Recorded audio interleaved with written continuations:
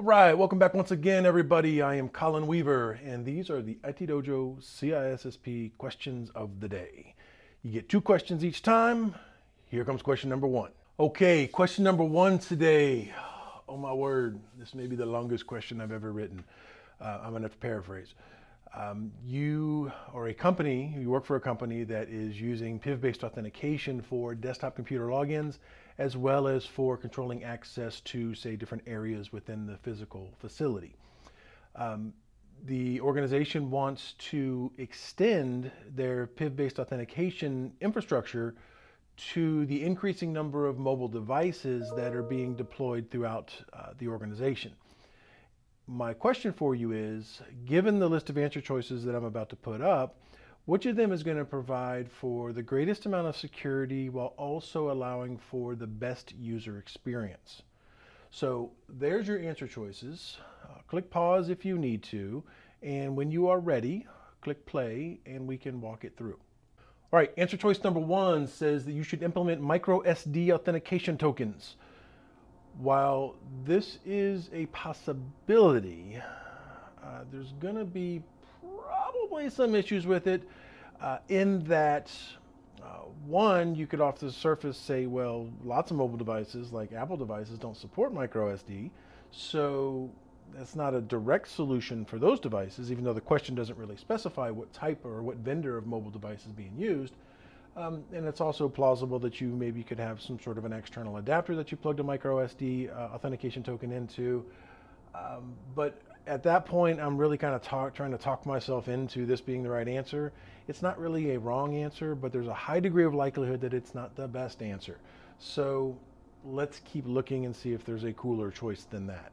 Choice number two says that you should use TOTP, which is time-based one-time passwords um, using either a key fob like you might see with say RSA SecurID or with a mobile app, like say like uh, a product from Symantec or say Google Authenticator or something like that.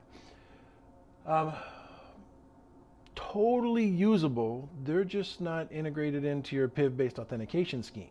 So this is unlikely to be the best answer because it really doesn't fit into the existing infrastructure. So it's also really not super seamless. Uh, I use Google Authenticator extensively and I'm regularly switching back and forth between that application and the, the site or whatever it is that I want to log into so I can get my time-based code to go in and, and complete my authentication process. Same thing with some apps that I use with Symantec's product for going in and doing that. I have to, you know, flip over to the Symantec product, get the code, and then get back over and concatenate it with a with a pin that I know, uh, and you know, inside that 30 second window before you know the code resets, and then I have to do it all over again. So it works, but it's not integrated in with uh, PIV-based infrastructures, so with uh, personal identity verification cards and uh, definitely not going to think that this is the right answer either. So I'm going to keep going.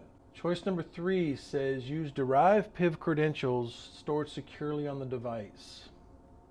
Yes. Okay. Derived PIV credentials are in essence a virtual PIV card that's on the device. The nice thing about a PIV card, or if you're a DoD, they tend to call them CAC cards. Um, actually, it's a CAC because the C is so saying the word card is somewhat redundant, but people still say CAC cards, and I'm in a DoD community and people say CAC card. Anyway, uh, a PIV card or a CAC uh, is a smart card that you have to plug into a reader on a device in order to be able to um, uh, log in or to access certain sites. Now, they can be read wirelessly. Uh, it's not nearly as common as using an actual physical reader, which is oftentimes either A, built into the computer, or B, is connected via, say, USB with a USB CAC reader or PIV card reader. Um, but all of those require the physical card. And the physical card solution really doesn't jive with mobile devices. Now, there are readers that you can connect to a mobile device like a smartphone or a tablet, but they're very inconvenient. Um, they're, they're not, they're you know, they're, they're prone to breaking. If you change phones and you were using some kind of a case that had a card reader built into it, then if the form factor of the phone changes or where the connectors change, then suddenly your case is useless now and the case might have been expensive. So there's all kinds of reasons why using a physical PIV card with a mobile device doesn't really play out. So what a derived credential is, is when you have the same thing as a PIV card in terms of the uh, the private key and the public key and then the pin that controls access to the private key, except it's actually stored on the device itself and it's going to be stored securely on the device, either in a, a TPM, a trusted platform module, or a TT or TEE, a trusted execution environment, or an SE, a secure element. Some sort of tamper resistant slash tamper proof, tamper resistant um, storage location on the device where this stuff can be securely held. The end result of doing this is that you have an existing, well, you have an existing PIV card implementation, and then you use that PIV card implementation to actually provide derived PIVs. Because if we're really kind of distilling this down, a derived PIV is just another key pair um, that is the, the request for it is signed by the uh, private key that's on your PIV card. Okay, that's where the trust is built into it, and of course the, there's the tree of trust that goes back to actually providing the authentication and trustworthiness of the private keys that are on your PIV card. So a derived PIV creates a virtual PIV uh, rather than you actually having to have a physical PIV on your mobile device. And uh, it's it's continuing to evolve and we'll see long term kind of how it all plays out but that's the idea of being able to go in and do this. To leverage your existing infrastructure which is kind of what the question said we wanted to do um, as well as have it be very uh, seamless for the user. Because if it's a if it's a virtual piv that's on the phone the, all they really need to know is is their pin to control access to that private key that's securely stored on the device. Uh, and that is very convenient. If you contrast that with trying to have a physical you know, uh, reader, and then you'll you know plugging in your PIV card or your CAC um, to go in and gain access to your device. That's not particularly convenient. So that is the right answer. I know that was a lot of just a bunch of wind that I was just throwing out there, but uh, but that is the right answer that you're looking for. And then the very last choice is is kind of really stuff we were just talking about to actually use a PIV card reader that's connected to the device. This is totally valid, totally legit, totally doable. It is, however, not the best answer in this question. So again, you know, with the CISSP, pick the best answer, not the you know, only correct answer, because that's not typically how it's going to be for you when you go to take the exam. All right, let's move on to question number two. Okay, you have been tasked with reducing the likelihood that nodes in your network can generate or forward packets with spoofed uh, uh source IP addresses. My question for you is, which of these answer choices is going to be the best way for you to accomplish that? Click pause, check them out, pick the right one, and then come back and we'll walk through. Choice number one says that you should use SNMP, the Simple Network Management Protocol, to create a list of allowed MACs on each virtual LAN. Um, no, no, no.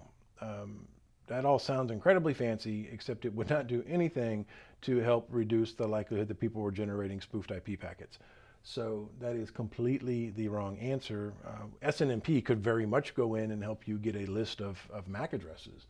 Um, however, uh, having that list of MAC addresses isn't going to facilitate the um, ability to prevent uh, uh spoofed IP packets. So definitely not the right answer choice. Okay, how about answer choice number two? It says that you should uh, create access control list entries on your router that only allow traffic so sourced from the local network segment. Now, that's totally, totally doable. Okay, it is also potentially very intensive uh, for you to go in and actually create all those individual ACLs that are going to do that. But while technically possible, it probably is not the best answer. And I know that because I wrote this question. Um, but it would work. Uh, you would just have to write a whole bunch of ACLs and trust that you weren't going to fat finger something and cause your own denial of service situation. So let's keep looking and see if we can find an answer that again is better than this one. Choice three says you should enable MLD snooping on your layer two switches. Again, that sounds real impressive. Uh, MLD snooping is multicast listener discovery snooping, which is typically associated with IP version 6.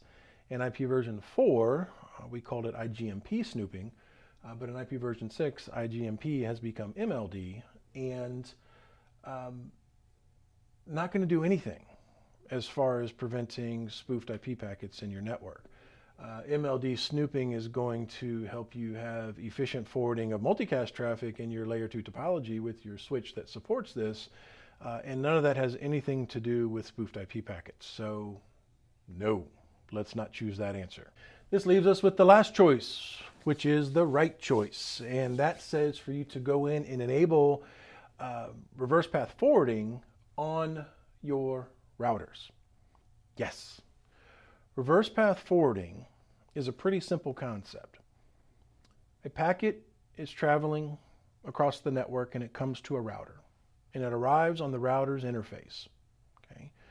When that packet comes in on the router's interface, the router looks at the packet and looks at the source IP address.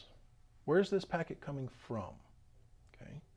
Now, this is secondary to his primary job, which is to look at the destination IP address, which is to figure out if he can help forward this thing.